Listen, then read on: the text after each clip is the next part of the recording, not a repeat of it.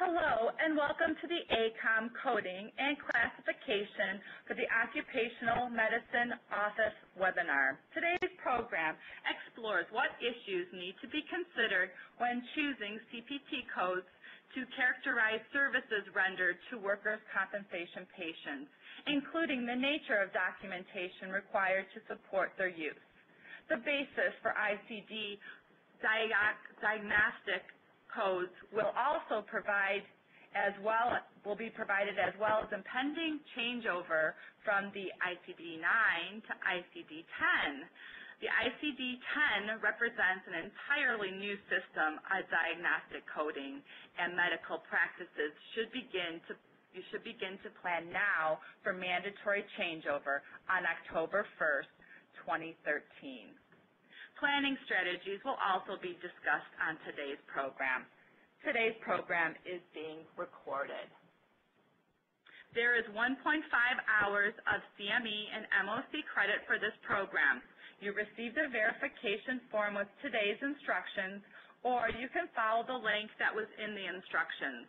No certificates will be sent to you, but your transcript to this and other ACOEM educational programs can be viewed and printed from the ACOEM website. Members and non-members can both view their transcripts directly from the website. Today's program will consist of approximately 75 minutes of lectures with questions at the end. We will address questions as time permits and suggest that you submit your questions early for consideration. We are only accepting questions electronically. On the screen, you can see how to open the question box in order to submit your questions. This was also in the PDF file of your handouts you received with the instructions. We are very fortunate to have as today's presenter Dr. Elizabeth Genovese and Dr. Paul Darby. Their brief biographical sketches are included here. On behalf of the pre presenters and planning members, we would like to disclose that Dr. Paul Darby is employed at the Franciscan Occupational Health and Support Clinic, as well as owner of MD PhD Services, where he does speaking and consulting. He is for ACOEM, AMA CPT advisor. His expenses are covered and serves on the FHS Medical Research Evaluation Committee and on the board of the Research Center. There are no other disclosures to be made. So it's my pleasure to turn the program over to Dr. Elizabeth Genovese. Dr. Genovese, you may begin. All right, I'm going to start by basically you know, doing the coding part. I'm going to give you a little bit about how you use the ICD-9s, um, and then I'm going to go more into the CPT codes, after which Paul is going to basically give you a 10-minute introduction to the ICD-10 system, and I hope in the future to be able to, you know, in my lecture, um, be talking about what ICD-10 codes to use for what. But right now, since we're, you know, looking forward to using this book but are not using it yet, it's a more practical use of my time to be telling you how to use the ICD-9 codes as a way of getting the best from your coding experiences as opposed to how you use codes that really are not in widespread use at this point, but again are going to be. First of all, there's some pretty obvious stuff I'm putting in the beginning here.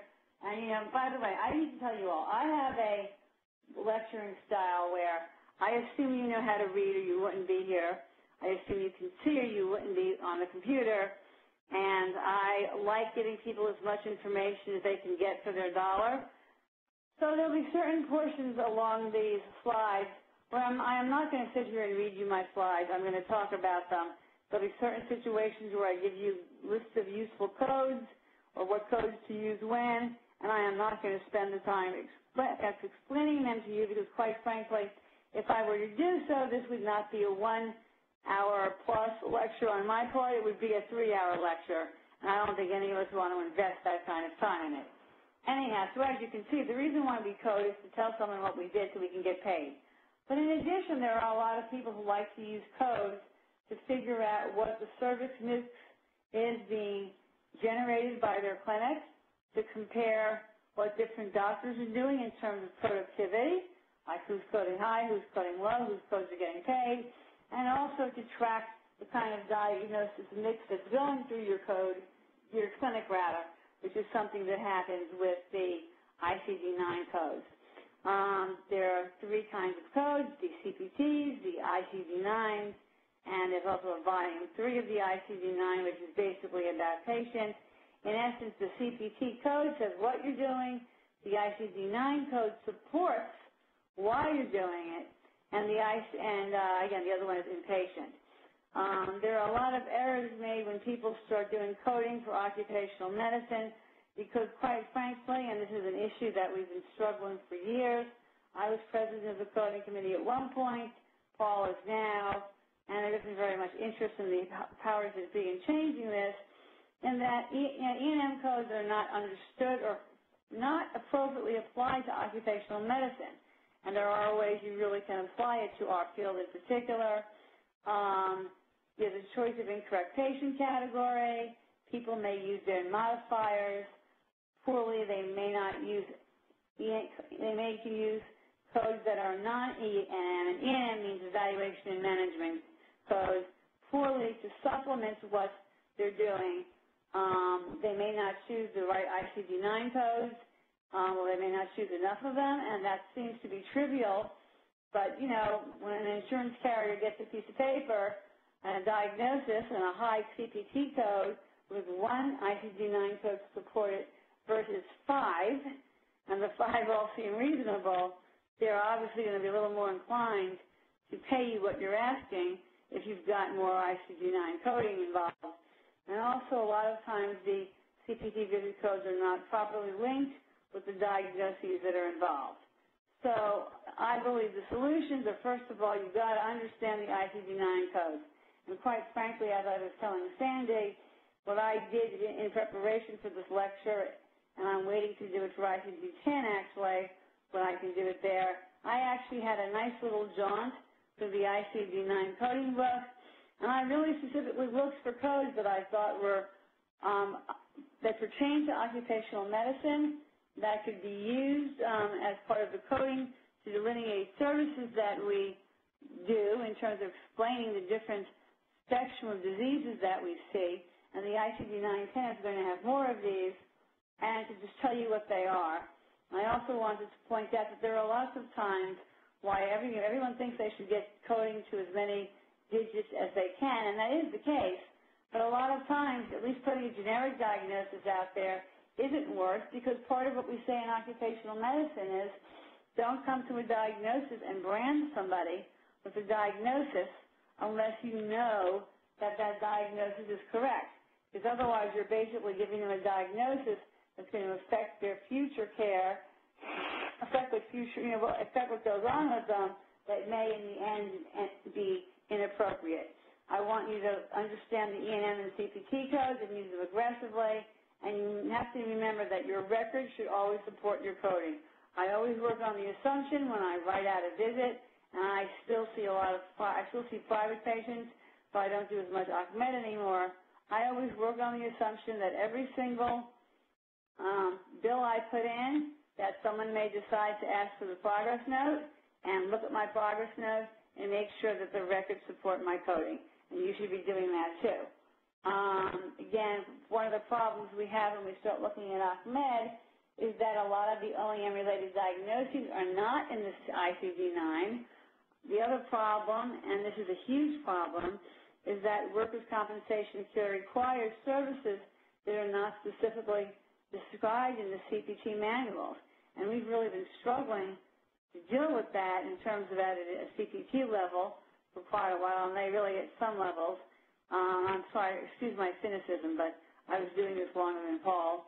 Could really care less, and the same is true of other occupational medicine services. Um, furthermore, states, another huge problem we have is that states differ in how they reimburse for workers' compensation-related services. Specifically, some states have very, very generous fee schedules. In fact, they have such generous fee schedules based upon their own internal coding or a set of codes like A, B, C, D. It doesn't matter what they do. Workers' compensation is a state, not a national product, that those doctors really could care less what you do to the CPT system because they're just going to say code 1, code 2, code 3, code 4 and get a very nice chunk of change for what they're doing. Um, you have to bear with me for one second. I didn't, bring water with me here and I really need to have a glass of water. Just wait for a second. I'll be right back. Actually, this bottle of water it was all 10, it was all 10 steps away from me, but 10 steps wasn't doing me very much good. One second. By the way, I'm, and I will just, if the answer to this is no, I do want to make sure that people can hear me. If that's a problem, please let me know, all right? I'd rather know it on slide 13 than slide 120. Um, okay. And furthermore, insurers um, themselves differ in their reimbursement for certain types of OM services, even when there are applicable CPT codes. So it's not as if we're throwing this whole situation into a system that has the type of uniformity that one would like to see. Um, so, okay, here you are. You see a patient, or you're going to see a patient, and you're going to code for a patient, and you have to make your first decision, which is who are you? And I'm not talking about an existential decision here. I'm talking about are you a doctor? Are you a nurse? Are you uh, in the emergency room? Are you outpatient, inpatient? What are you doing? And that's the codes. And again, why are you doing it are the ICD-9 codes. All right, uh, ICD-9 CM codes. Again, please, if there's a problem with sound, someone, Sandy, whatever, please let me know this. Okay, ICD-9 codes, what are they and why are they important? Um, I'm not going to spend a lot of time on this, but basically they were developed by the World Health Organization, so they're not just used in the United States, they're used in, internationally and they're basically used by all commercial insurers who provide outpatient care in the United States, with the exception, again, of unique type situations like state fee schedules, et cetera, because, again, workers' compensation does live in its own little world. Um, why do we bother? Well, I explain why you're doing something. Um, when you look at the ICD-9 codes, especially if you code very thoroughly and explicitly, you can really start looking at the statistics of who you're seeing. If you put them into your hospital system, for example, you can see how the population breaks down by diagnosis. As you can see, there are some cool codes that will let you see how your population breaks down by what it was that got them there in the first place. You can see what your provider mix is. We talk about this all the time. Certain providers may, may be taking more time because they're you know, their injuries have, their patients have more complex illness. You can also use it for treatment analysis, saying, okay, with this code A, why is Dr. B doing CDE, and why is Dr. C doing DEF? And they can, again, this is what I think is very important in terms of coding, they can, they can convey complexity, and hence, as a proxy, they can really convey how much work we may have done. If you're here, the HIC, the 1500 form, it's the form that goes to health insurance um, claimer, you know, the health insurance departments, et cetera. I've uh, um, circled, I guess you could say, or squared, two different parts. The two parts are on the very top. You'll see, I know this is very small, but you can see it well enough. There's four numbers, one, two, three, four, and next to it there's a line. And then there are diagnosis codes that run down the right side in that red box. What basically happens here is that the doctor picks four ICD-9 codes that go up on the top and then ties those diagnoses with CPT codes, which go on the far left, to give the insurer a sense of what code is going with one diagnosis. And since I'm someone who tends to go ICD-9 code crazy, because I love them, you know, my struggle was always the fact that I need to keep my codes down to four. On the other hand, there are some of you who are hard-pressed probably to put one there sometimes. And I think that a lot of times if you're seeing someone more complicated, you've really got to make sure those numbers up on top, that one, two, three, four, are written down the side with accompanying CPT codes that help somebody, even without looking at your patient, know what you did for the person and why. All right. Um, I'm not going to, this is sort of boring, so I'm just going to have, have you know to read it. Basically, this is how the book is divided. The idea is in general, you get three digit codes for each category. Then there are further four and five digit codes. Um, it said that you must code at the highest level of specificity. The problem, however, is a lot of times the highest level of specificity begins to not really accurately identify what's going on, and that's why at one point I said it's okay to stay lower because if you're if you're trying to pick something that's more specific and it's really not accurate to the situation at hand, you're really not helping anybody, including yourself, because you're not providing accurate information. There is also something in the book called the V codes for health factors. V codes generally, but not always, um, cannot be the primary ICD-9 code. There's also something called E-codes, and they're used for external causes, and they basically tell you how a given, ex, um, they usually list external causes that might be the reason for the ICD-9 code for which you're treating someone. And here's a little example of the three versus five code situation. And as you can see, when you go from 250 to 250.13, you've learned a lot.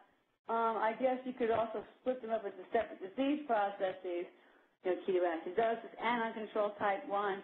But in some ways, by putting them all together this way, what the insurer knows is that, okay, this patient right now has both of these things going on, and they're all problematic together. Um, I mentioned to you that the book is organized into different diseases or conditions. As I mentioned earlier, you can all read as well as I can. And you can see by looking at the left side that there are a number of different categories.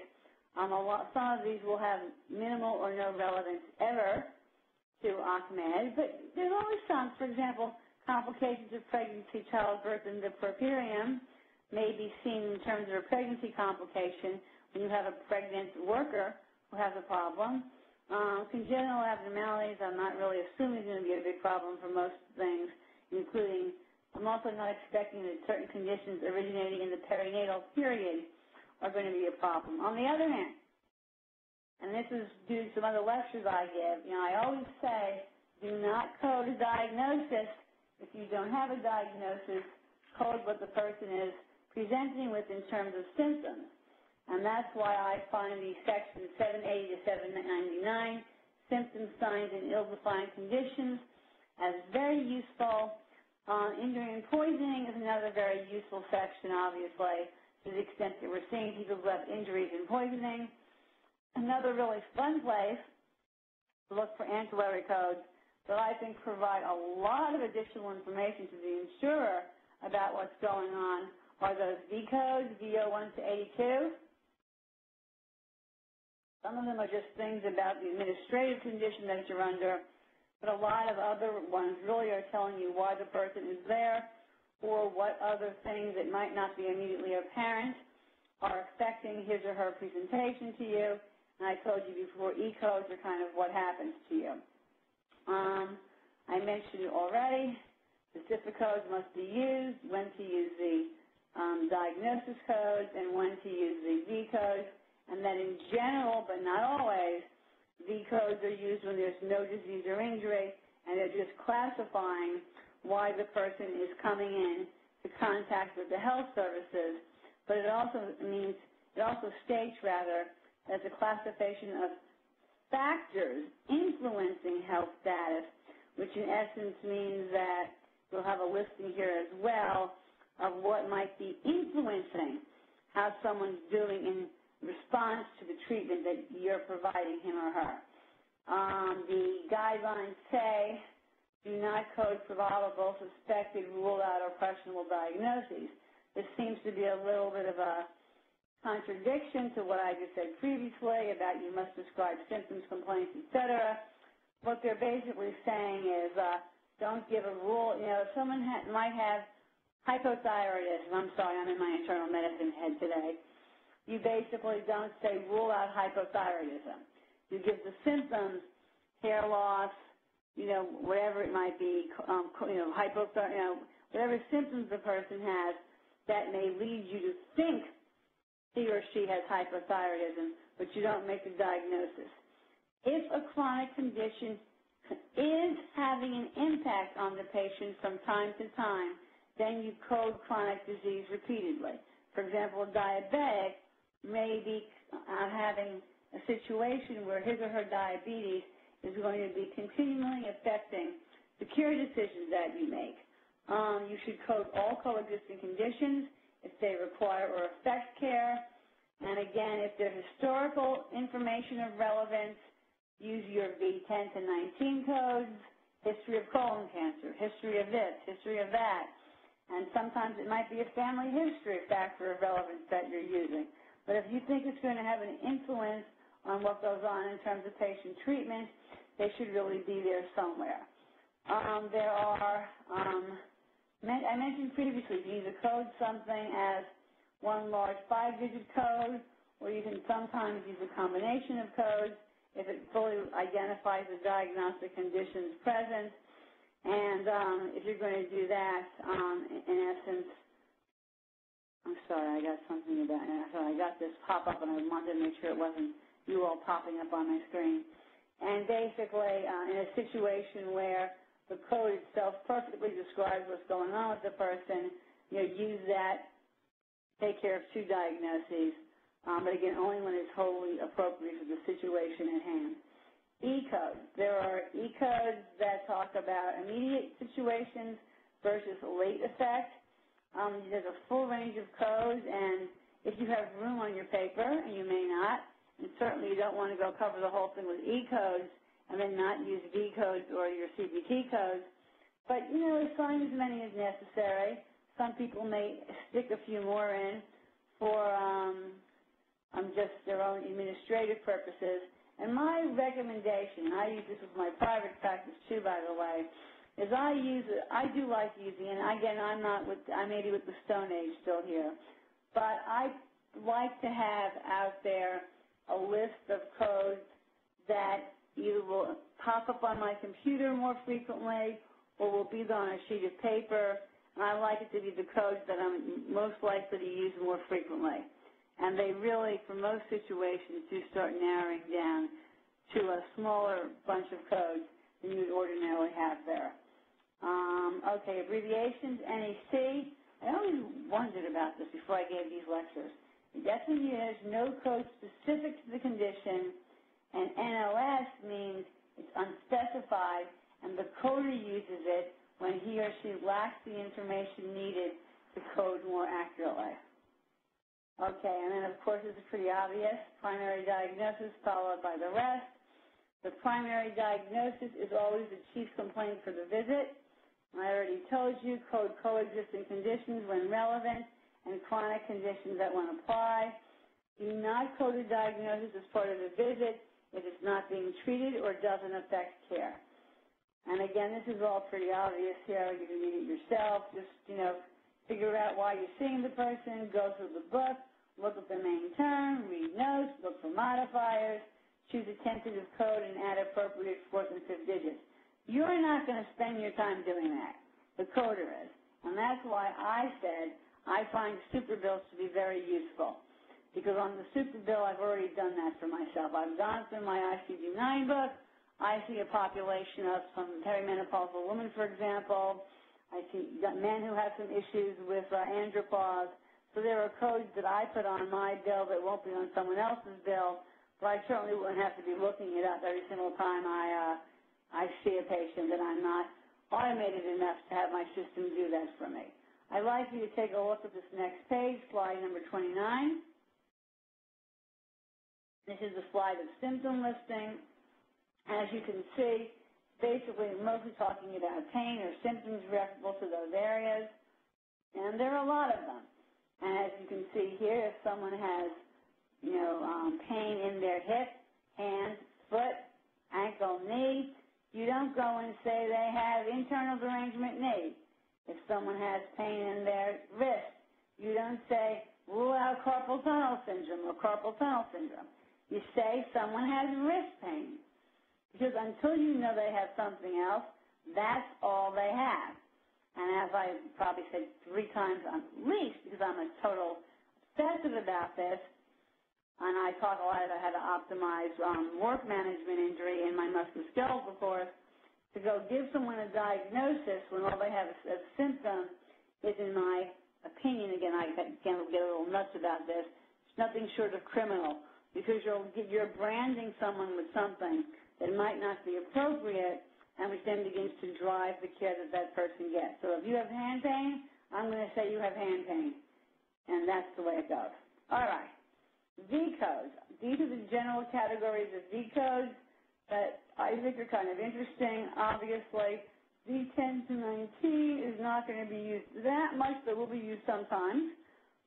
Um, 20 to 29, reproduction and development, rare you're going to be using one of those codes, sending with your live-born infants. On the other hand, parachutes with condition affect influencing health status. You're going to see that code, or you can use those codes a lot more than you think you can, and they're very interesting sometimes. They provide a lot of information to the person reviewing your file just by looking at the codes.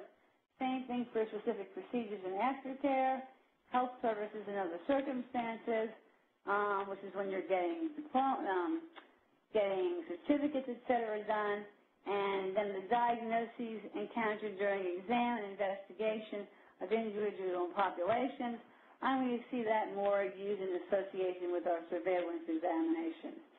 Here are some V codes that I think are particularly cool and or relevant to OccMed, and if you read down this list of codes, you can certainly see why I've chosen these. For a lot, and there are more of them, by the way.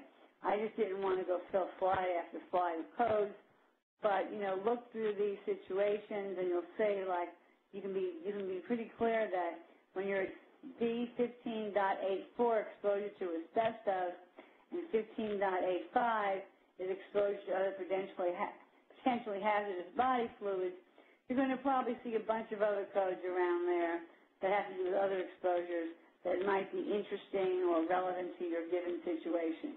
These are V codes that I think are a real hoot because I think they tell a lot about a patient and quite frankly, they often explain to somebody why that patient is taking so much longer to take care of than we would have expected that person to take care of.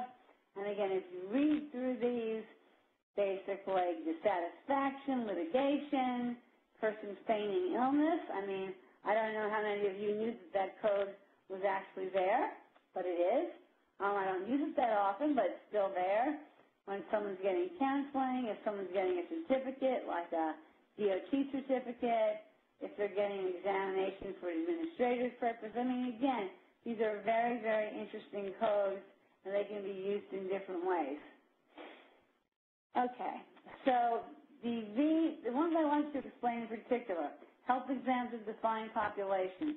Here we're really talking about your health examinations, your pre-employment screening, and when you look at immigration, students, refugees, prisoners, et cetera, um, the 70.3 code, and to remind you of what that is, general medical examination for administrative purposes, that's really more for people.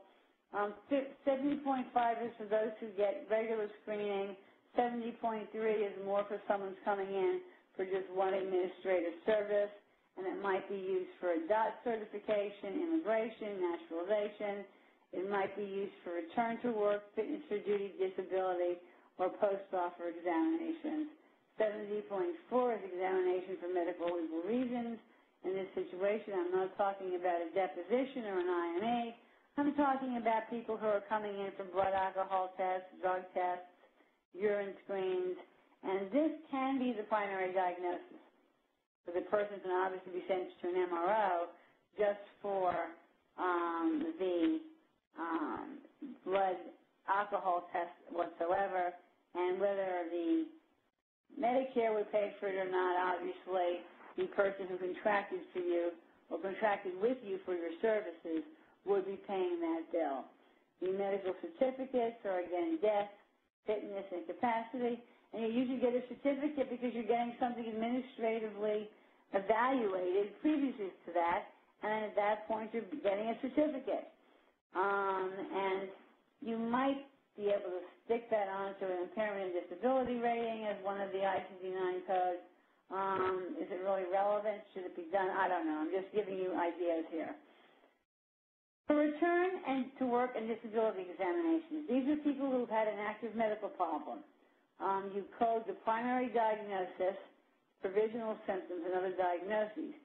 They then get a secondary code because they need to get some kind of a release, usually to go back to what they were doing, and if necessary, their employer may request that you do um, or fill out some kind of paperwork or give them a certificate which basically says they can go back to work or whatever, and that's when you would use the code V68.0.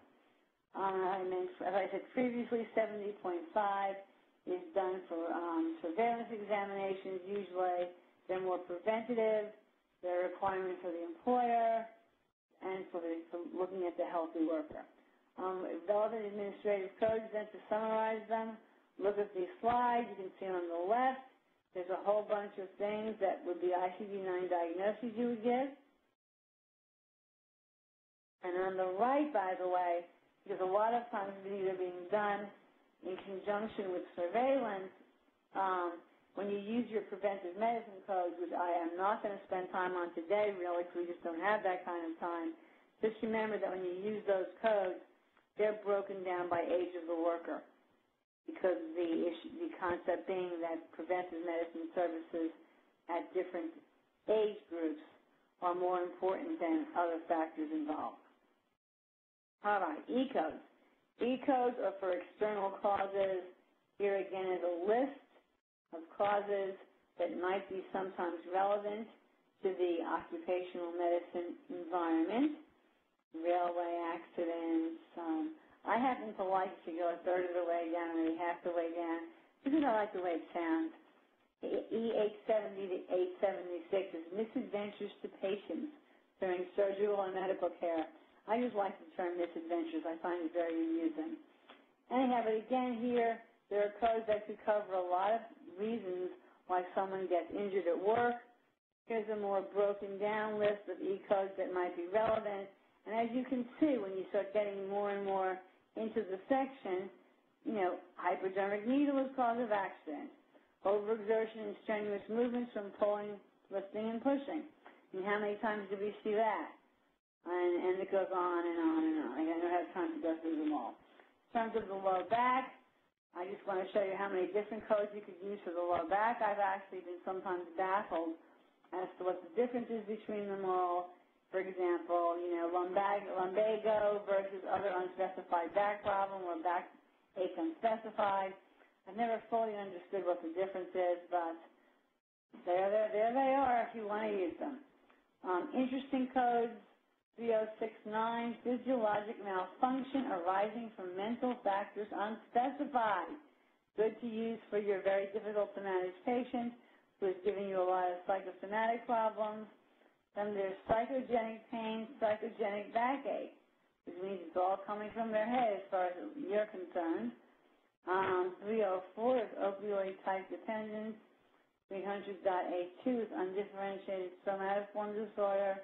And 30, 300.5 is neurasthenia, which for those of you who are old enough to remember this, is basically on used to characterize a state of malaise, not feeling well, etc., that was, at one point at least, used more to characterize women than men.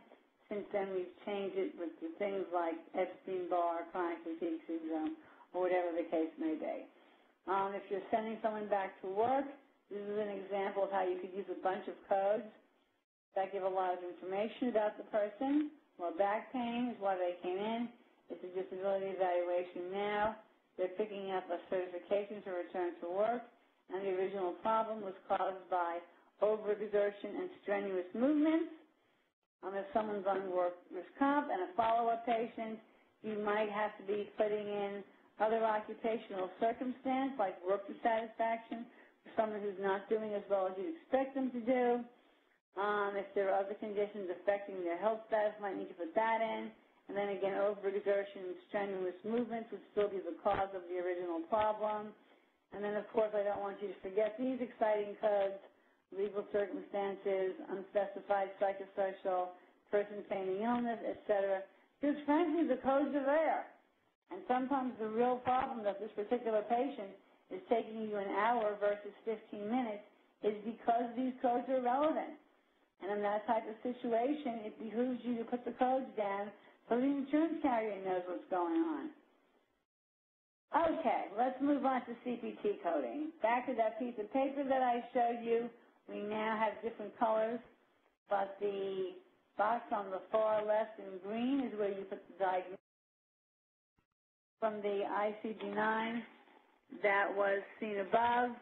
Um, the um, red box is where you put CPT codes, and the, the blue box on top is where you actually list your ICD-9 codes. As I told you previously, the idea is to, in the green section, basically link what's in the blue section to the red section in a way that explains what's going on to the insurance carrier. Um, again, look for the codes. Now that say what you're doing and just justify the what with the why. All right, again, the CPT book has a lot of different sections. The one that we're going to spend the most time with is the evaluation and management section. Um, when you when you do a code, pick a code, your sorry, let me just I'm sorry, I should have oh, I just logged off my phone. Um, your procedural and service code should match the encounter. You're encouraged to be specific um, which is kind of interesting because sometimes you can't be specific. Um, the codes are five digits, and sometimes you can add two modifiers to that, and I'll show you. And the modifiers are usually found in Appendix A of the book. In case you don't know this, we were on CP9, C9, and we're now on CPT10, and there really aren't that many drastic changes that are going to be relevant to us. Um, for the E&M codes, they're broken into these sections. The only ones I really care about here are the outpatient office visits and consultations. Um, to some extent, the preventive medicine case management, especially E&M services, may also be of use. When you're making a decision process, the first thing you need to ask is, is this a new patient? That's because, this is totally bizarre, there's a three patient rule, three-year rule, which basically says that a patient who's being seen by anyone in the same specialty by as he or she was seen previously can never be coded as a new patient. They have to be coded as an established patient. On the other hand, when you read the paper and work in front of the CPT, 9, 10, 10 book, for example, it points out in the emergency room, you don't make that distinction. Well, we also don't make that distinction very frequently in occupational medicine. In fact, as a rule of thumb, most insurers don't want us to make a differentiation um, by, by, by um, not calling someone a new patient. They want every new injury to be a new patient, which in many ways is how the workers' compensation, you know, how the, um, yeah, how the occupational medicine system works. And quite frankly, in terms of why they can't make some changes in this book, it's always annoyed me as to why the AMA just can't stick one line saying in the emergency room and in certain circumstances, such as the care of workers' compensation patients, you um, don't follow the new patient rule because it leads to some confusion, especially since the CPT book tends to warn of dire consequences if you don't follow their rules. So here you are seeing a new patient. You know your customer, the insurer, wants you to call a person a new patient.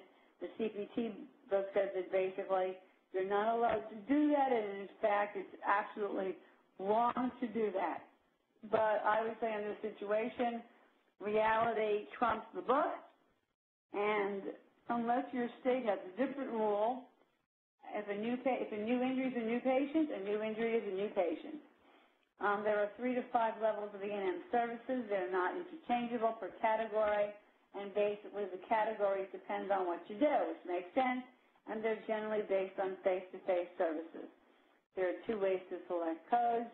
There's something called the standard, which is way of code selection, which is based on three components, and then three what are called contributory components can provide information that can help you get to a certain key component or can better explain what you're doing sometimes in terms of whether something would take a lot of time, for example, or time-based. And time-based codes are used when over 50% of the visit involves counseling and or the coordination of care. Time-based coding is exclusive of non-face-to-face time. In other words, it only counts when you're looking at the person, and I always say, you're going to spend a lot of time with that person in your office doing stuff for them. I would much rather you do it with them in the room than out of the room, because you can bill for the time they're in the room. As soon as they walk out of the room, you can't bill for that time anymore. That time doesn't count as part of your encounter, even though in reality, you're still time you're spending taking care of that patient. Um, your three key components are history examination and medical decision making. Your contributory components are counseling, coordination of care, and nature of presenting problems. When you start looking at the contributory components, what I find most frequently is that the nature of the presenting problem can basically affect the medical decision making, which then can boost that one up. So the contributory component of that, that particular one really can affect the use of the key components.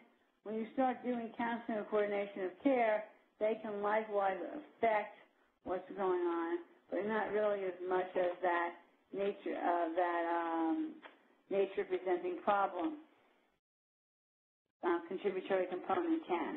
All right. When you look at the history, the key components are, this is in your initial codes when you see them, not your follow-up codes. 99202 is problem focused. 99203 is expanded problem focused. Um, they both have a chief complaint and a brief history of present illness.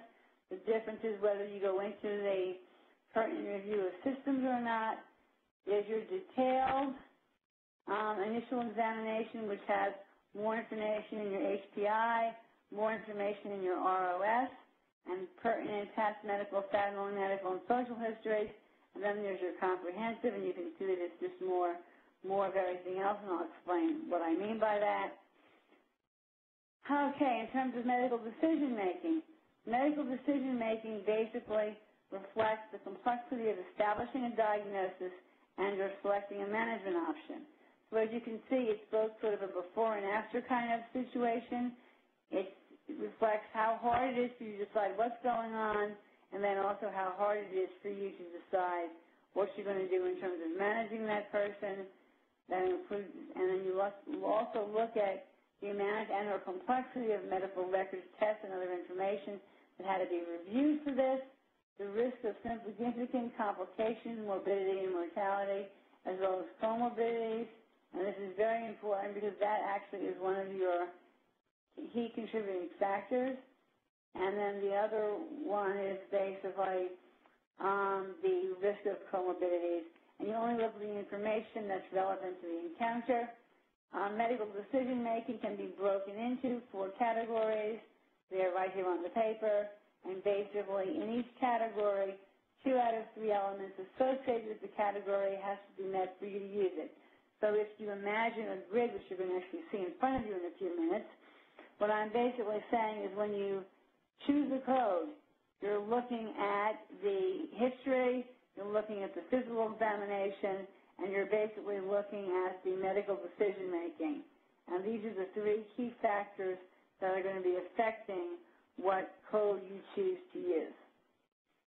And here's the grid I was promising you. As you can see here, um, depending on whether you have a very straightforward situation in terms of management in terms of the amount and or complexity of data, and in terms of risk or complication, sorry, risk of complication in NNM.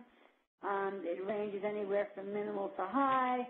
The higher it goes, the more complex your decision making is felt to be, which makes obvious sense here. Um, again, I told you that um, there's a difference between initial patients and follow-up patients. In initial patients, all three components are needed. Is that new patient? I don't care about hospital care in the ER. Otherwise, you need to satisfy or exceed two of the three components, and this again is in terms of the E&M code for seeing a patient. I spoke about contributing problems as being interesting, uh, rather of the nature of the presenting problem as being interesting here as a contributing component as it relates to decision making. Well, the nature of the presenting problem can help support the rationale for the type of the decision making. Um, because you know, decision making is based on thought processes, choices versus interventions, et cetera, and it's basically based upon this as needed to outcome, outcome, optimize outcomes and also on the risk of morbidity and mortality due to the problem itself if left untreated and or not treated adequately. And counseling and coordination are pretty straightforward. If they only count time spent face-to-face, and if it's not face-to-face, you can try to use case management codes, or you can somehow get the person into the office with you. In other words, what I'm saying is since the telephone use is considered to be part of your visit, um, but you can also code based on time. If you're going to spend half an hour on the phone with somebody and not get paid a penny, it's a lot better to bring them into your office, um, talk to them that way, and get paid for half an hour of counseling and or coordination time. Um, I have private patients who unwittingly try to do it all the time. All right, you're presenting problems. Minimal, um, this again is not at your established visits. This is at these are your established visits. A physician needs to be there, not really, but the service is supervised. For example, someone comes in to get their tetanus shot after an injury, or to get their blood drawn when they're being screened for HIV. The physician doesn't have to be there, but there's generally some kind of supervision somewhere in the place. And for that, you use 99211 if it's a self-limited or minor problem that's expected to have a definite and prescribed course, almost regardless of what you do, you use 99212. And frankly, that's a lot less frequently than you think in the workers' compensation world. Um, on the low severity, your risk of morbidity without treatment is low. Um, I'm sorry, your moderate severity, your risk of mortality or morbidity, with, morbidity without treatment is moderate or there's a questionable prognosis, or there's a high probability of functional impairment. What's very interesting is this terminology that I'm using is basically terminology that comes from the description of the contributing component um, as opposed to nature of the problem. So as you can see here, when you start going to the whole part about level of decision making, the nature of the problem is one of the factors you're going to be looking at, and the nature of the problem, which is a contributory factor, has to do with your risk of morbidity or mortality without treatment. Well, if you think about it, morbidity and mortality, we're not talking about things that are always objectively demonstrable. Know, we feel at ACOEM, or at least I feel at ACOEM, that it's better for someone to go back to work. We, we feel it's better to not be hooked on drugs. We feel a lot of situations. So if you see someone who at the time of their first or second visit is walking in and you attach one of those nasty V codes about dissatisfaction, worker fainted in illness, et cetera, well, that's someone whose risk of morbidity or mortality um, without treatment is there. It's there because how they're handling the disease. It's there because of the legal and the psychosocial circumstances involved. So a lot of times just by discussing the fact, and I've seen docs do this, by the way, in this particular patient, the risk of morbidity or mortality without treatment is moderate. At that point, they've automatically brought themselves to a moderate severity level of medical decision making. So that's where that contributing problem or that contributing component, um, that, the nature of the problem really is one that you can use but you should definitely put the lingo in there if you're going to be using it to justify a code. Here are all the different things that can happen with counseling. I'm not going to go into them because I don't have tons of time, although we did start late, so I have more time than one thinks I have. Um, and then here's time. Time's pretty straightforward. If you spend more than 50% of your time face-to-face -face with somebody, then you can consider time as the key controlling factor. This does include time spent with those who assume responsibility for patient care or decision making. So you can probably count your visit with the rehab nurse under the time component if you can't find any other way to, to make up for the fact that this person just spent 45 minutes of your time and they're billing their boss for it and you can't bill anybody. So that's where you can do the bonus here. Okay, new patients. I said in new patients you need to make three or reach three out of three of your benchmarks. I have here what the benchmarks are. You can see the time that's involved on the far right. Some of you may think the time's ridiculous. Unfortunately, when you have a very difficult patient, doesn't want to go back to work, all kinds of issues, that time spent face-to-face does often become the driving factor in terms of how you end up doing it, even though you'd rather not be spending an hour with someone. You just end up having to spend the hour because of the particular situation at hand. Um, as you can see here as well, when you start looking at your new patients, and pay very close attention to this, when you look at 99204 and 99205, they both require that you take a, a comprehensive history, and they both require that you take a comprehensive physical examination. However, on 99204, the decision making is moderate, 99205 is high, and the rest of this you can read as well as I can. Um, for your established patients, it's a little bit different.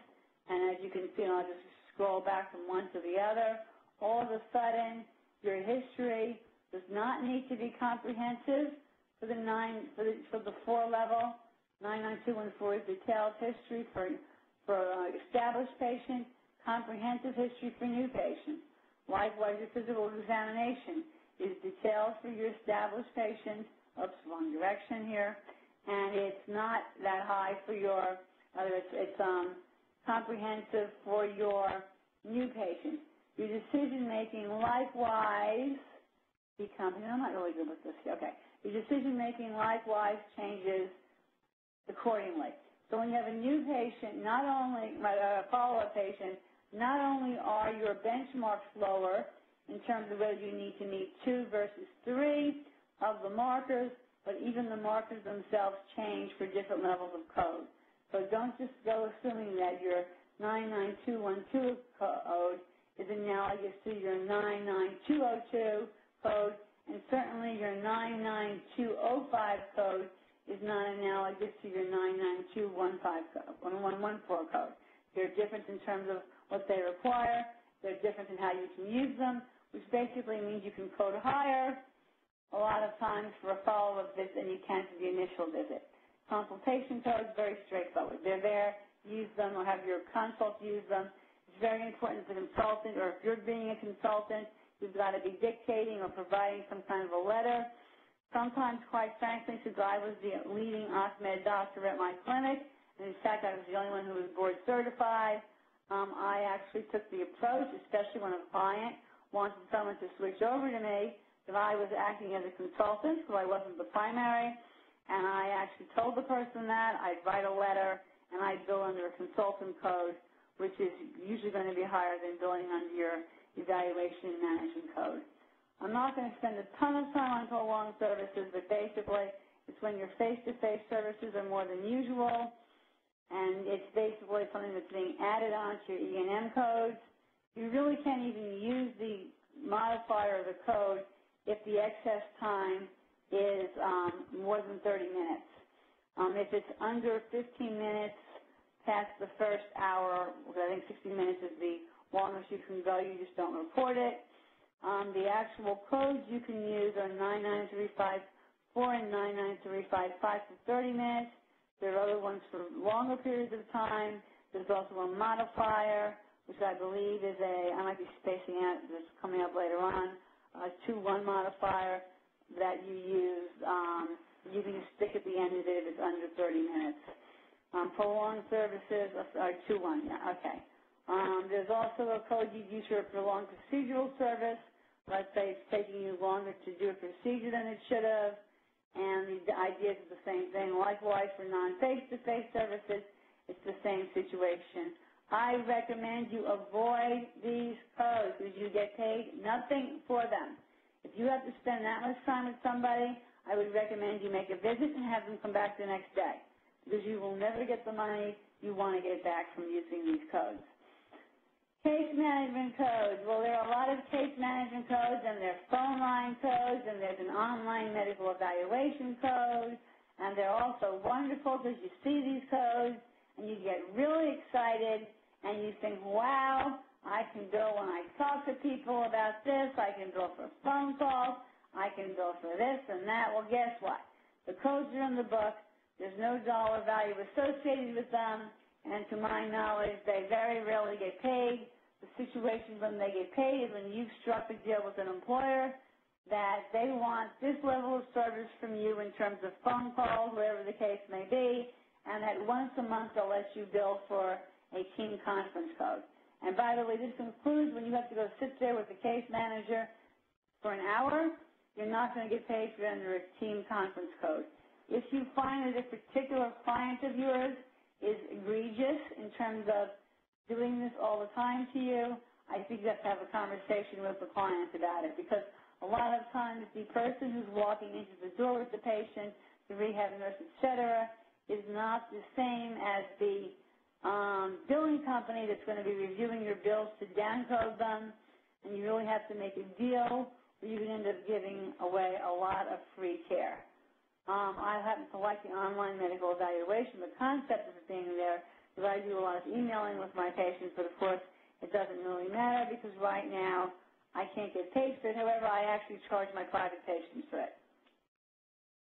Because given where things are going in terms of copays, et cetera, it's often cheaper for them to pay out of pocket.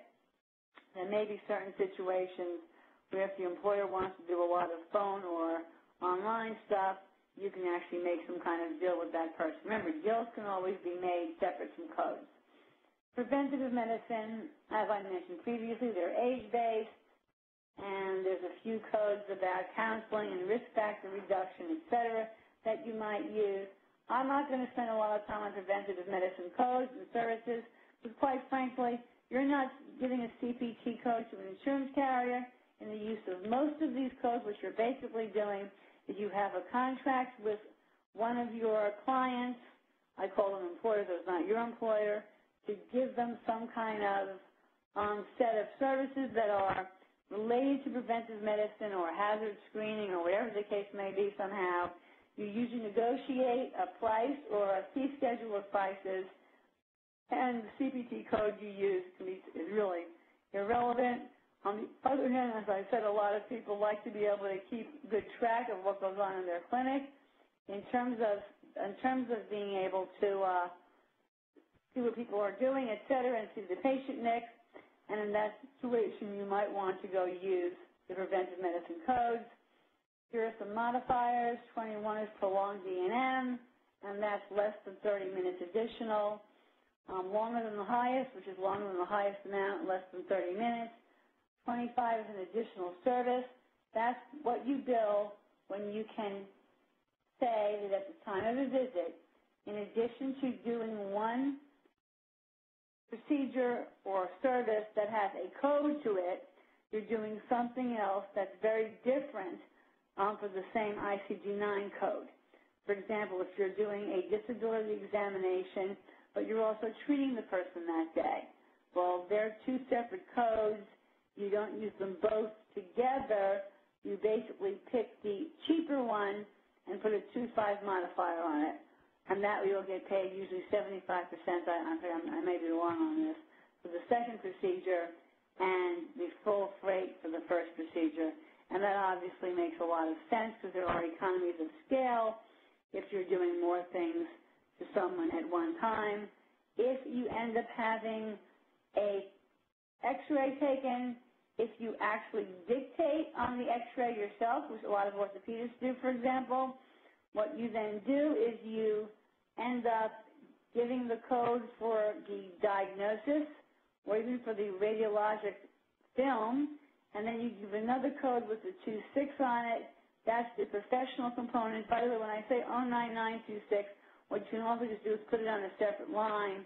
And in this situation, since you're professionally reading the film, allegedly, a separate report must occur. 5-1 is when you're doing multiple procedures. So let's say someone's getting the E&M service, they're getting some injections, they're getting some other things done. If that's going on at the same time by the same provider, you would end up using the 51 modifier. Um, special E&M services, there are a few of them, life and disability, work-related or medical disability. Again, I don't have time to go through these all, but they're basically there.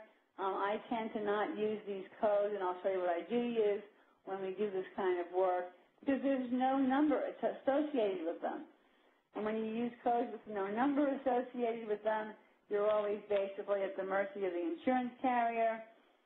Um, I'm just going to go skim through this. It's a little later than I wanted. In terms of the physical medicine and rehab codes, um, they're the ones for the evaluations. Um, you can bill under one of these various codes for modalities. If you look in the book, it tells you what code goes with each modality. Just remember that the 97032 to 9 codes require that there be constant attendance.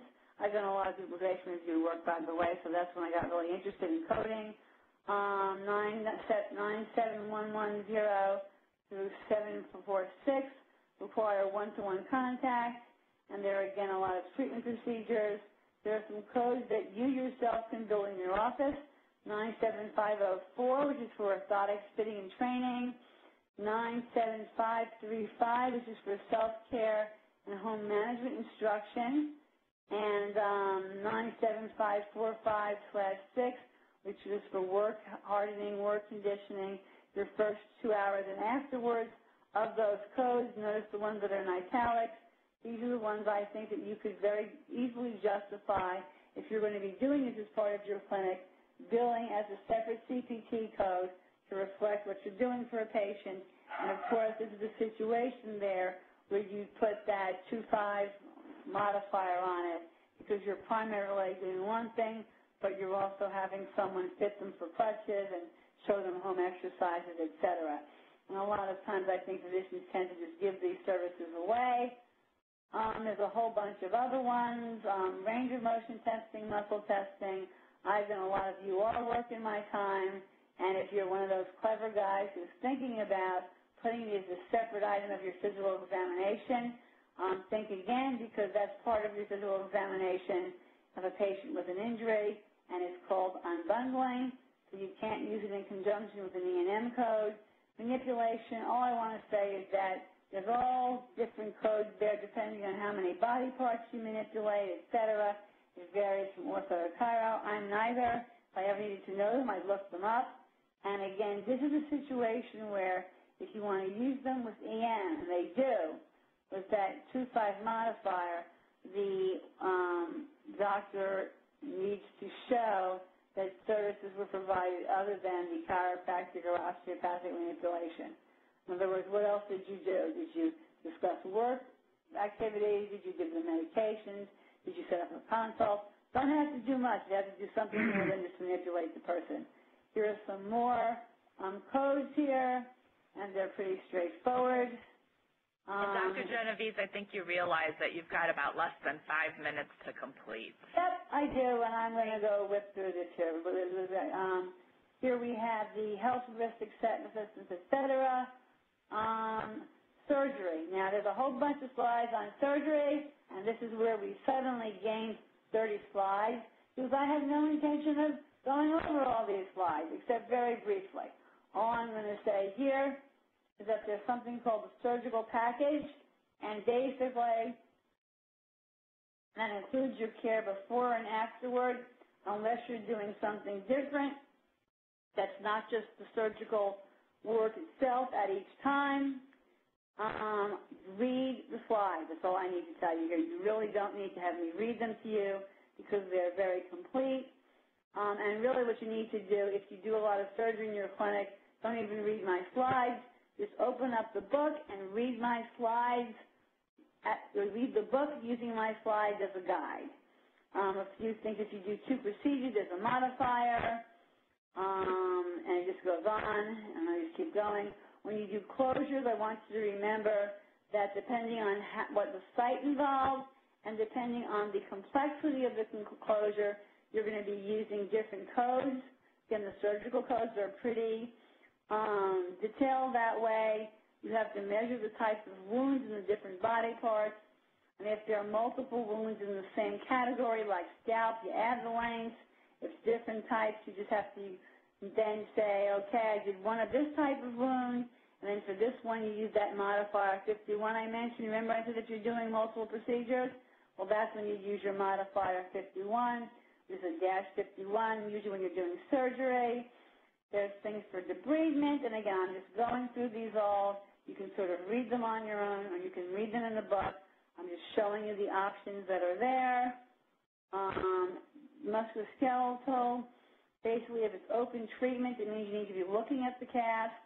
Um, quite frankly, rather than even doing the closed treatment kind of situations, it's my recommendation you basically, um, the, the physician who applies the cast assumes all the subsequent injury, um, you know, gets involved in all those kind of things, I personally think it's better to just buy your splint, get your payment using the code I mentioned previously for putting the splint on, and then go from there.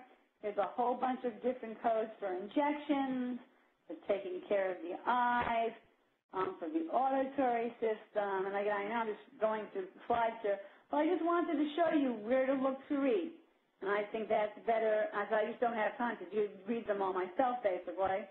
Um, visual function screening, remember that that is not something that can be done together with looking at visual acuity. And generally, if you have E&M eye care, you cannot bill for visual screening unless there is a very clear, that's part of your care. You just have an eye injury, you're screening their eyes. Thank you very much. What would you be doing? Screening their feet? No, you can't bill separately. So there's a lot of common sense. There's some audiometry, venopuncture, cardiograms, administration, as you can see, depending on how many vaccines you give, how you give it, and what's going on with it. You can certainly go for um, for vaccines. You can go for all your blood and breath alcohol testing. So putting it together, here we go. Usual care. There are these items, i.e. usual meaning in the world of non-workers' compensation. Workers' compensation care, on the other hand, we have other things going on. We have a causation assessment. We have the need to complete a physical capacities evaluation and discuss it with the employer. And we need to use case management and care coordination. These are all then coding issues, i.e., how do we get paid for these when there are either no codes for them or no codes they pay money for them, which is basically like not getting paid for them. Um, well, number one, you have to look at the complexity of care. And when you look at that decision making, these people are definitely more complex. You can sometimes base your coding on time. And again, this is really a recap. Billing independently for your phys, you know, for your PCE and for your cost. things you can try. You can try everything. Will you get it? No, but if you don't try it, you're not going to know that. Um, basically, um, to use the current system, get a good history. I actually would have patients complete a history form. I have them write their history on the form. I would justify in most cases that I need to get a pretty complex history through their a workers' compensation person. They may have other diseases. I don't, I don't know about that because I'm not their ordinary doctor. Someone with a laceration may have a murmur I don't know about. So really, I need to know a lot about this person because it's not someone who I'm routinely seeing so I can justify that. Generally, to boost the level of history, I also can do a very thorough examination because, quite frankly, I think if you're examining a back, for example, you're looking at a lot, nervous system, other kinds of movement, etc. So I, and it really, frankly, guys, it doesn't take that long to perform a thorough examination compared to a less thorough examination. And when the difference is going to be $140 in what you get paid or $100 in what you get paid, I think it really does behoove you to take that extra time. And again, I'm reminding you however, that for new patients, you've got to be comprehensive by level four in terms of your history and physical, and your decision level has to be high by level five. Even though I've been fairly aggressive with coding, I very rarely use 99205 for a claimant um, I really do. I tend to stick to no higher than 99204 if they have a back problem or if they have any kind of reasonably um, more than just put a Band-Aid on you kind of musculoskeletal problem.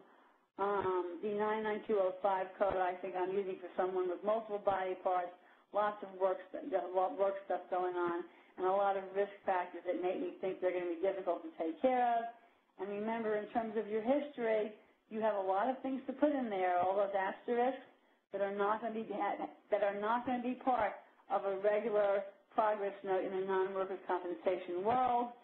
Again, for new patients, I, I shouldn't know why the slide's here, before we'll pass on it. Okay, so to show you that for established patients, you only need to be the detailed level as a consequence for a lot of my patients with any kind of, other than extremely simple problem, we're usually at 99213 to follow up, sometimes 99214.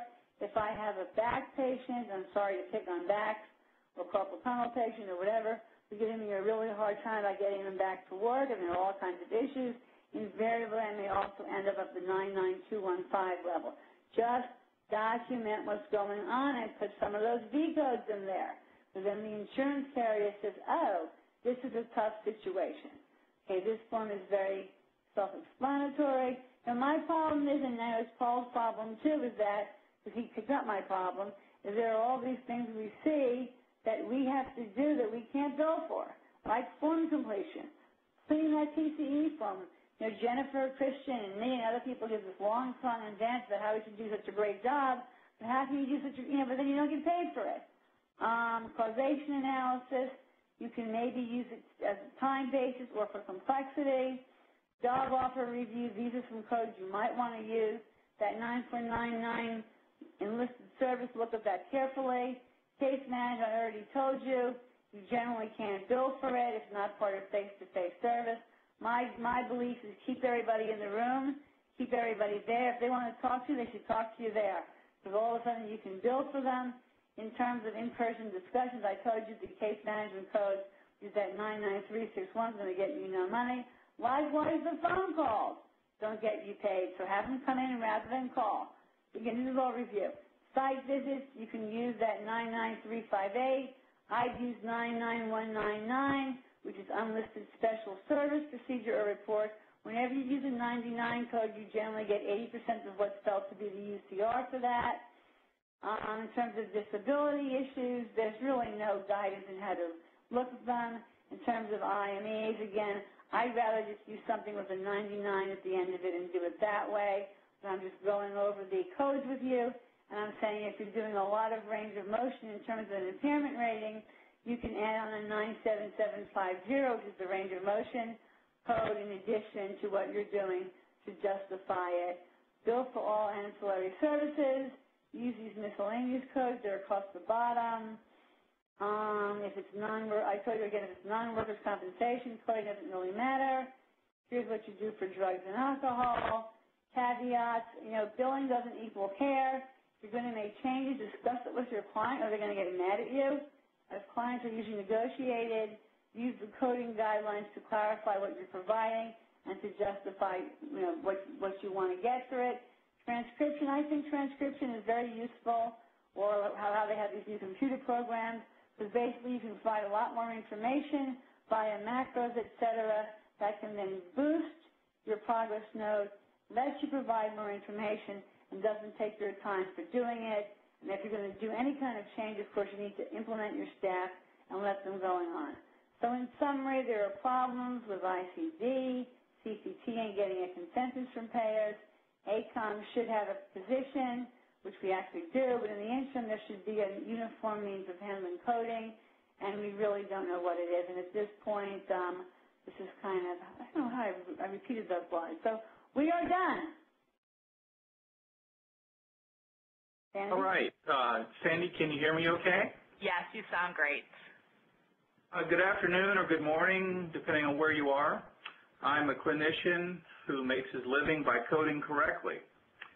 After a number of years of doing uh, this for every one of my patients, I code all my patients personally. I've discovered that I cannot delegate this to a staff member and get paid fully for everything I do. If if my clinic was large enough to employ a certified professional coder, things might be different, but these kind of uh, experts are very expensive to hire.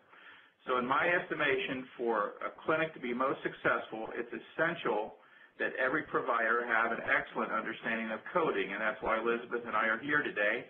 Thanks for joining us.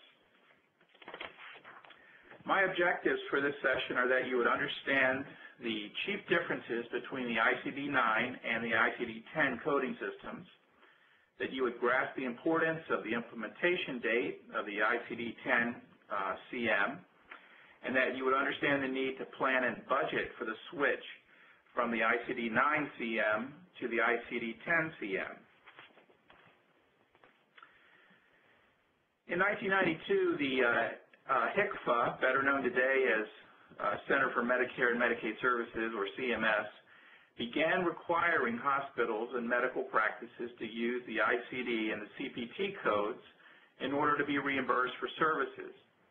ICD, as you know, stands for International Classification of Diseases, and it's a system for coding the diagnosis. CPT stands for Current Procedural Terminology, and is a system that's actually copyrighted and owned by the AMA for coding medical services. CPT codes answer the question, what do I do, while ICD codes answer, why do I do it? The ICD, uh, ICD began as a system for classifying the causes of death on death certificates from the year 1900 onwards. It's gone through 10 major revisions, and the medical establishment is currently using the 10th edition, or ICD-10, to code the causes of death on death certificates. But we're still using the ninth edition for coding the diagnoses of patients who are receiving outpatient or inpatient services. When coding inpatient or outpatient diagnoses, a modified system is used in the U.S., which is called the ICD-9 CM, or clinical, uh, for clinical modification. Again, this is a U.S.-based modification. The ICD-9 CM is based on the ICD-9, but the CM version is updated annually and has more morbidity detail in it. The ICD-9, like previous editions, uses a three-digit code to specify a general diagnosis with a fourth or fifth digit added to increase specificity. For example, the code 881 refers to an open wound of the lower arm. Adding the fourth digit, 0.2, indicates that the wound involves a tendon injury, and adding .22 indicates that the open wound with tendon involvement is located at the wrist. Since we've been using the ICD-10 to code for causes of death since 1999, you would have expected that the CM version would be required by now for diagnostic coding of inpatients and outpatients. Well, it appears that CMS has set a firm implementation date of October 1st, 2013 for the ICD-10 CM.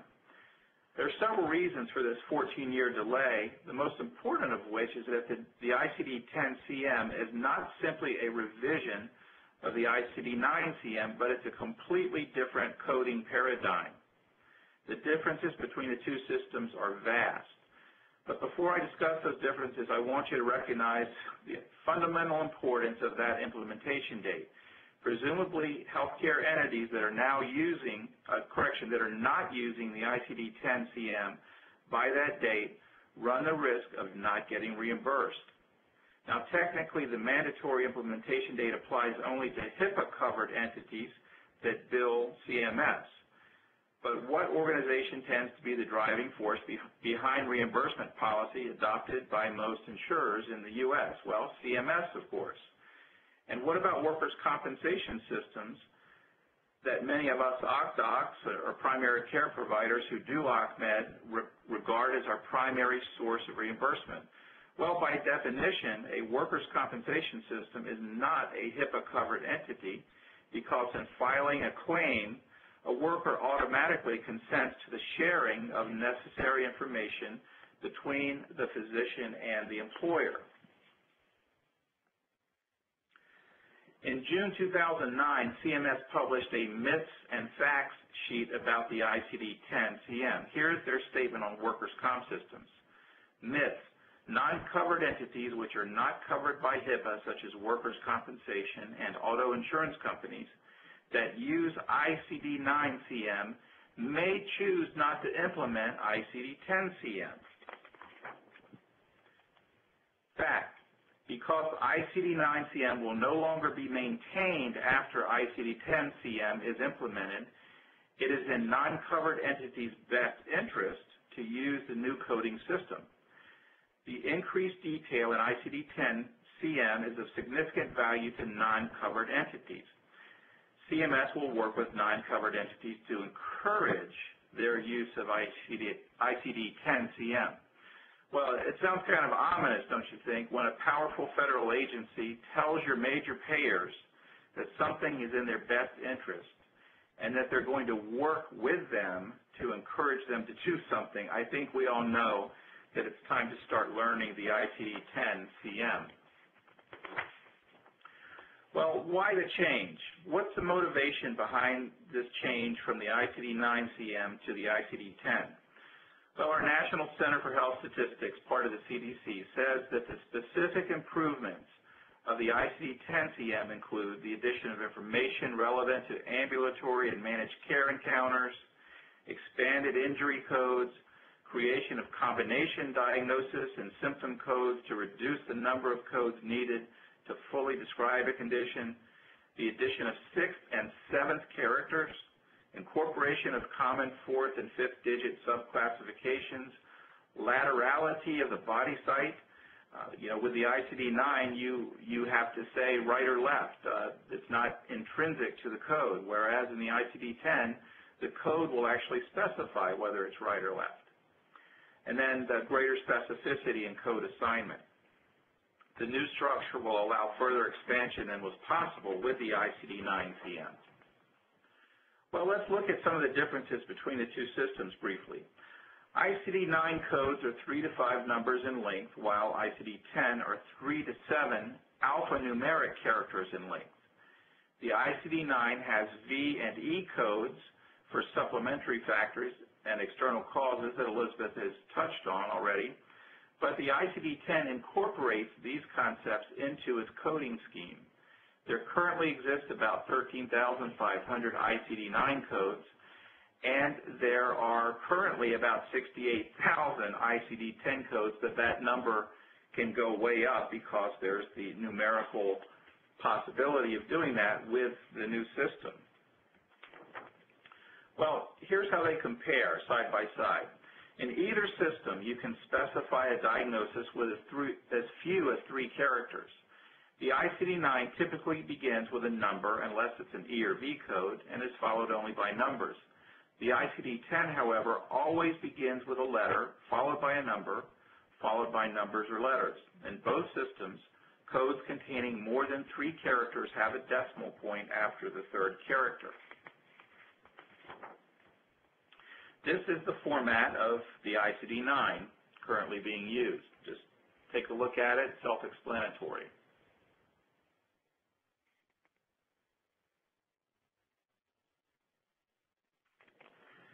compare it to the format of the ICD-10.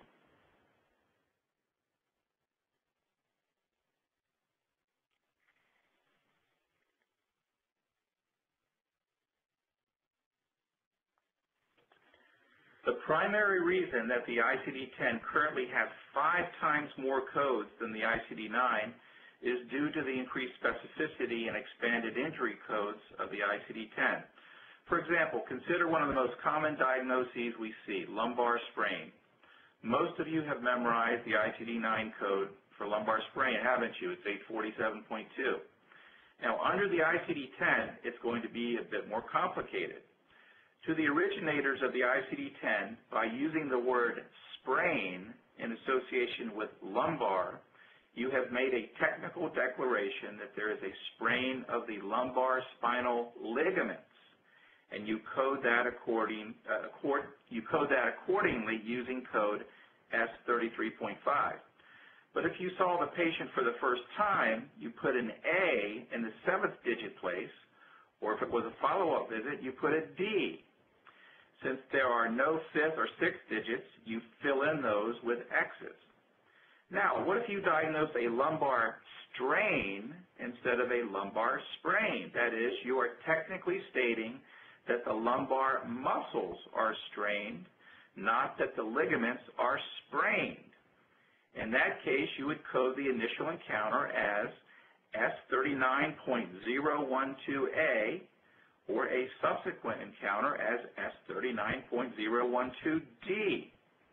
If you're beginning to feel that this is somewhat ridiculous because you've never thought to distinguish between a lumbar ligament sprain versus a lumbar muscle strain, you feel like I do. We've always used 847.2 to code this common occupational injury, and now we are moving into a situation where we'll have to pick one of four codes. I'm sorry to have to inform you that a similar scenario will be played out for many commonly used ICD-9 codes in occupational medicine. Well, get ready for the changeover. Obviously, the impending change from version 9 to version 10 on October 1st, 2013 is going to require significant pre-planning for most practices. Now is the time to develop an implementation plan because the changeover is not just a coding or IT project, it will impact business processes. Take an inventory of all ICD-9 dependent work processes, automated as well as manual, external as well as internal. Realize that the degree to which the changeover affects any particular practice is dependent on how automated they are, how many software vendors you have to deal with versus your own IT department, and what electronic medical record you use including its future upgrades.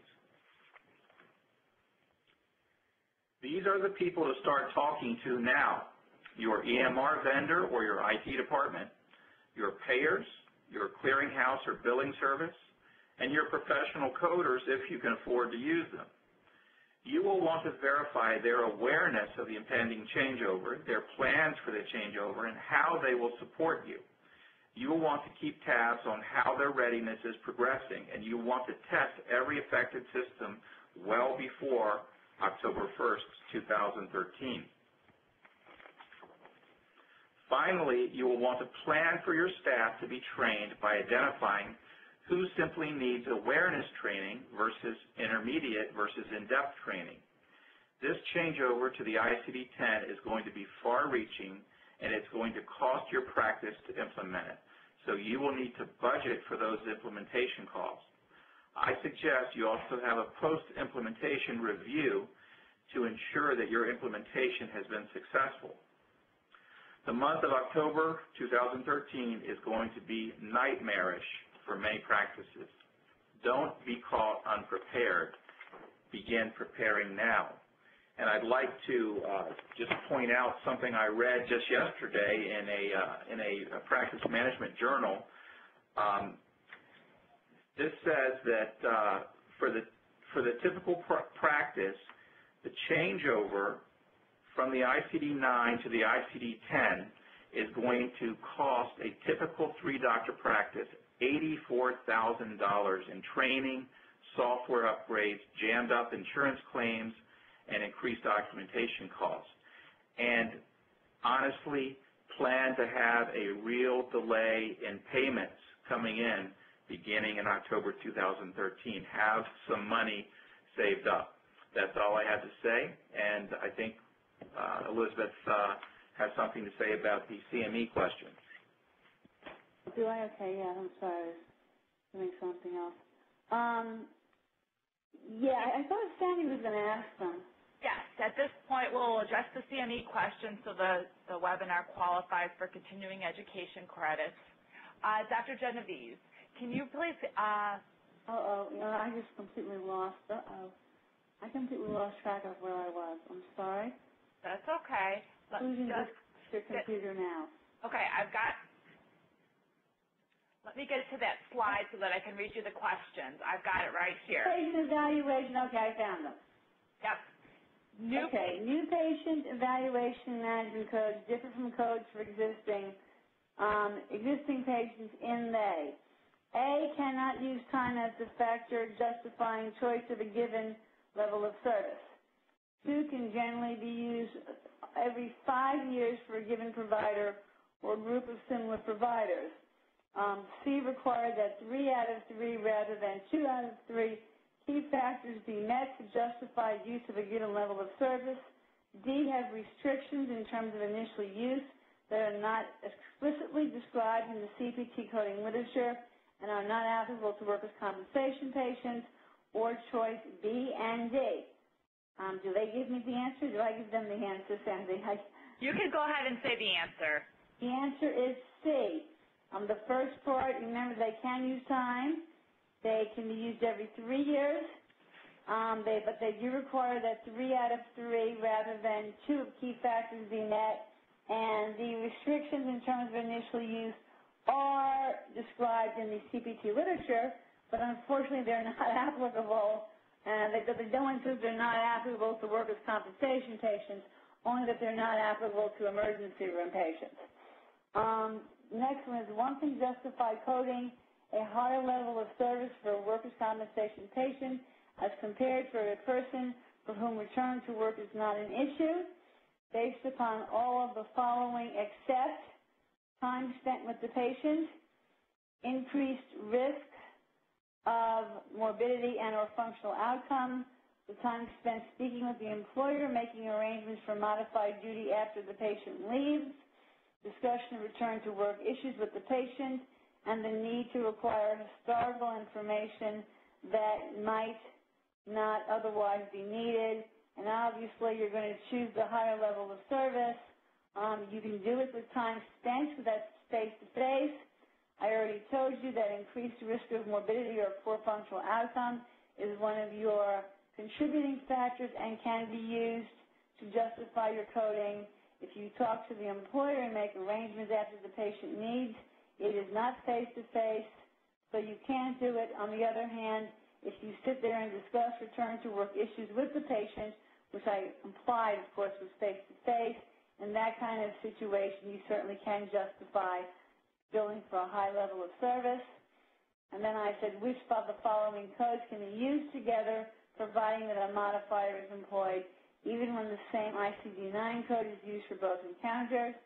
And the choices were manipulation in E&M codes, surgical procedures in E&M codes, um, disability assessment and evaluation and management codes, and visual screening and evaluation and management codes. I've already, remember I told you that you cannot use visual screening and E&M codes together? I already specifically told you that. I told you that you, that um, you can, um, I'm sorry, here, that you can use surgical procedure and evaluation and management code together when you're doing different things. Um, I also said you could use um, manipulation and evaluation and management codes. So basically, I'm sorry, the answer to this really should be, um, it's A and C. It's E, A, and C. So there we go. Well, thank you very much, Dr. Genovese. I'm going to, I know that we're a little over time, but I'm going to have you address just two quick questions. The first being, um, if a nurse does a... Stay here answer questions for a while. I don't care. if a nurse does a respirator evaluation, how is this coded, specifically E and M? Respirator evaluation. That's a fitting for a respirator. Um, you're not really treating a problem there, actually. Um, and I'm not, you know, you're not, it's not really a, it's not a treatment, you know, like there's no, there's no, there, so I, I think of that, I think that would be, I'm not sure how you code for that. I wouldn't use this, I wouldn't think of it using a CPT code unless, uh, unless Paul has a suggestion there. Yeah, we, uh, all our respirator evaluations are by contract with em- employers. We don't even use CPT codes for those. It's just uh, an agreed upon uh, fee. That's what I mentioned earlier. Remember I said a lot of the stuff that we're not going to go through because you just decide what you're going to charge. You know, I'm going to go have you, you know, and it's not, see, you know, E E and M, Evaluation and Management Code, by definition means you're evaluating and managing a medical problem. A respirator fit is just something like, you know, seeing if you can get a respirator to fit properly and all the other stuff you do with the respirator fit. So it's really not a medical treatment service when you think about it. And I think that's what you always have to keep in mind. Is this a treatment that you're doing? and you're really not doing a treatment in that kind of scenario.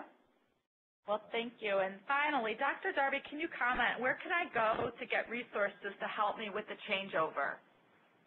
Yes, uh, there are a couple web websites that would be very helpful for people. It's uh, first of all, it's the AMA website, uh, www.ama-assn. That's ama-assn.org.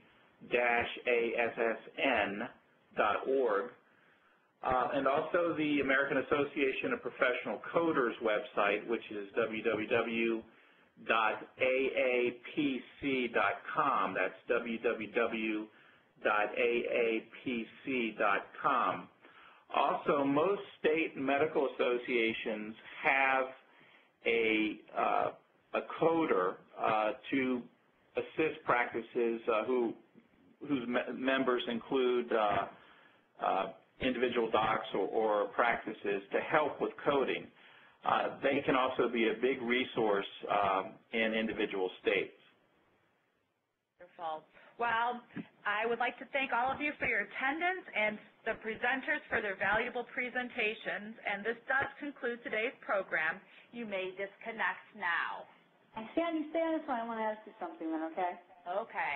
Let me call you back, Dr. Genovese. Fine.